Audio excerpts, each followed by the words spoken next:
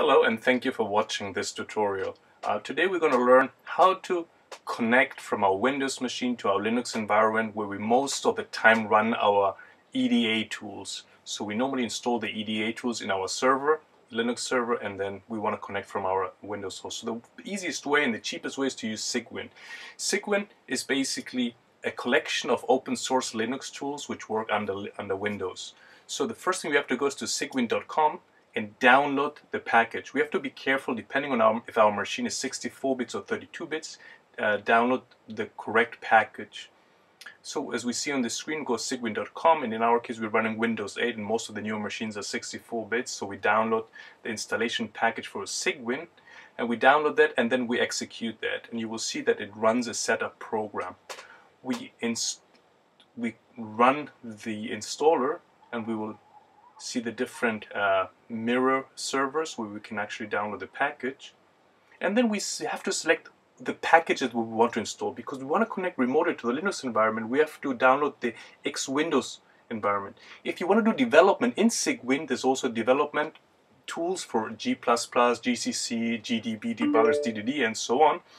Uh, but in this case, we want to only be able to run the Linux machine, connect to the Linux machine, and run and look at the graphical environment from our Windows machine. So we click on the X11 options, we select all the different packages to install on our Linux uh, Cygwin environment on Windows. So we select that, we click on next, and now we'll basically start downloading and installing all the different packages in order to run, to graphically view those uh, applications running on a Linux machine on our Windows host.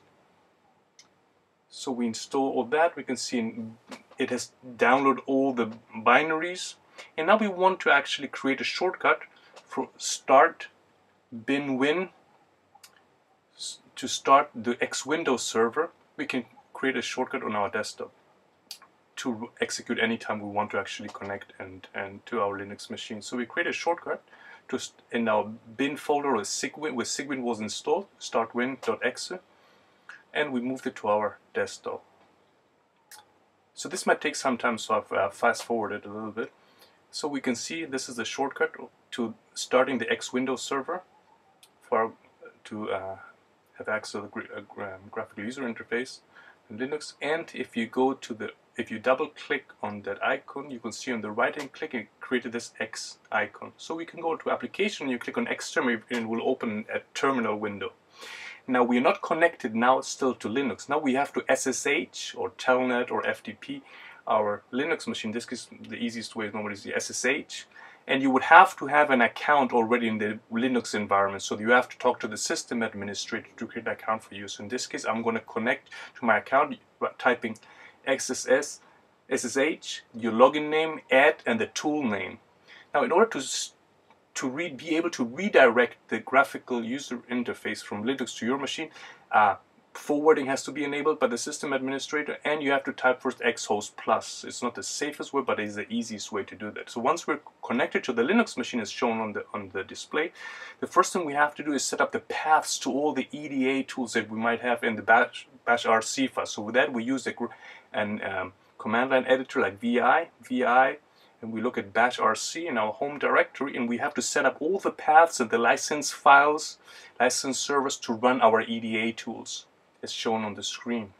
Once the paths have been set, and if you do any changes, you need to source the bash, bash rc file. So in this case, we have not done any, any changes, but still we source it to make sure make sure that all the effects of the changes that we have done are are, um, are uh, have been updated. And now we can run our EDA tools. In this case, I'm typing ISE I want to run the Xilinx tools. So I just type ISE from the command. And as you see, I'm displaying now ISE on my Windows machine, Windows host, while it is being run on the Linux server where I've just connected to.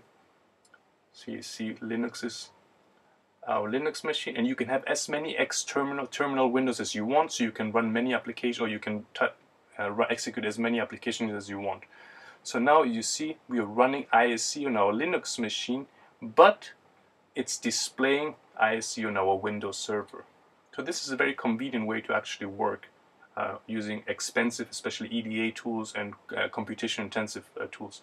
Now what you can also do is connect to another Linux machine. If you have a network of Linux servers, some are more powerful than others, and you can SSH hyphen X to redirect the screen to your to your to, uh, to your host, and again your login name, add, and the tool name.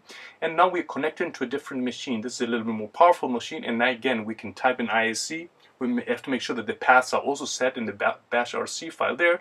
And now we again execute an ISE. You can see it's uh, starting faster because this is a faster machine. So this is one of the advantages of Linux. You can log in remotely to different machines extremely quickly and you can set up, start a job there and you can continue doing your things on Windows uh, while it is running in the Windows server. Now, how to actually transfer data from Linux to Windows, to the Windows environment? One of the easiest things is to just to download a free FTP uh, tool. Uh, in this case, uh, we can use WinSCP. It's a free FTP um, program. So if you download this tool, for example, this is one of the ones you can use. You have FileZilla, you can use some other tools. There's a lot of free tools out there. So you can download this. If you download this WinSCP and you execute it, you can see that icon there on the desktop. You execute it, and then you have to do the same thing. Type in the machine, the logging, the password, same as we've done from the command line. Again, here's asking us for our password.